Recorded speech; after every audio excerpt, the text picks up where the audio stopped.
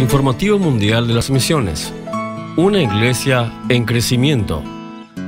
La ciudad de Blagoegrad tiene grande población de romaní o gitanos que en varios años algunos de ellos se volvieron adventistas.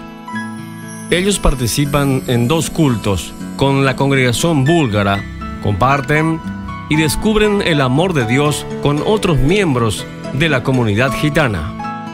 El número de miembros romaní crecieron y ellos expresan el deseo de formar su propia congregación.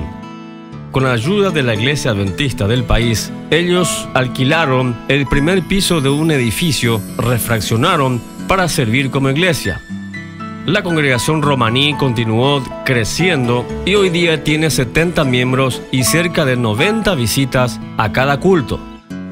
Actualmente la casa está siendo readaptada nuevamente para tener más espacio para los fieles. Por eso el local está cada vez más pequeño. Cuando el clima permite, los niños se reúnen en el patio para que los adultos asistan al sermón a través de un circuito interno por TV en la sala de los niños.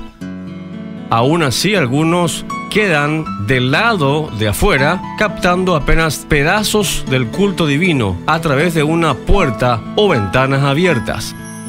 La congregación romaní está ansiosa para compartir su fe con sus compañeros gitanos, pero necesitan de un local mayor para recibir las personas.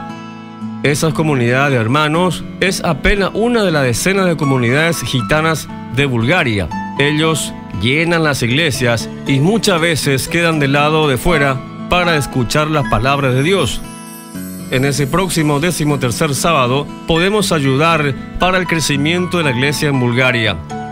Parte de esta ofrenda ayudará a construir una iglesia para la comunidad gitana de Blagoegrad. Seamos generosos.